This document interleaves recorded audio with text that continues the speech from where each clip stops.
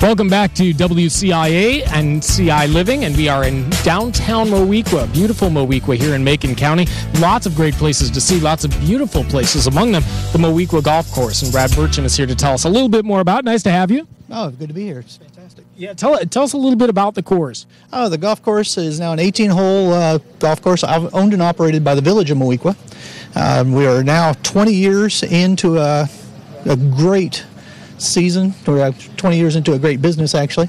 And looking forward to having a celebration here pretty soon as well. Yeah, well, congratulations. and when is the uh, when is the is the big event? And what what can people experience when they come to the golf course?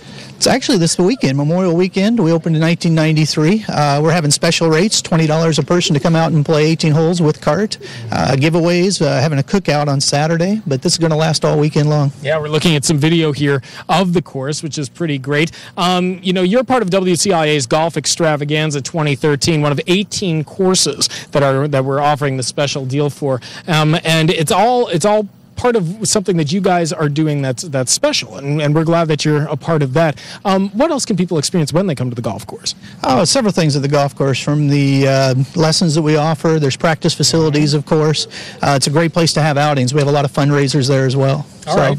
And so, t- how? And you said it 20 years, which is great. Um, do you have uh, any any any lessons and, and that sort of thing? Yes, we do give lessons. We offer that up. Yeah. Uh, one good thing about the golf course, it's kind of a family atmosphere. Uh, any given day, you can find my 12 year old out there helping with carts and stuff, and my wife Sherry comes out on weekends and donates some time as well. Sure. Any particularly challenging holes? Because I know we have some golf files out there. I don't think that's even a word, but you know what I'm talking about. some real golf pros out there that want a, that want a good challenge. Uh, what, what do you what do you think is the best at your course? Uh, it's hard to say what the best. I think the most memorable, we have a short par three that looks easy on paper.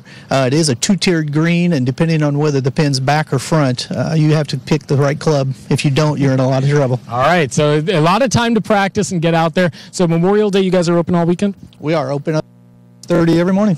Man, get out there and enjoy it because this is the weather to do it. Fantastic. Thanks. Brad Burcham is with the Moweaqua Golf Club. Lots going on out there. You'll have to check it out. Why don't we go there right now? Uh, yeah, we're, we're out of here. All right. In the meantime, though, we'll uh, send it over to Heather.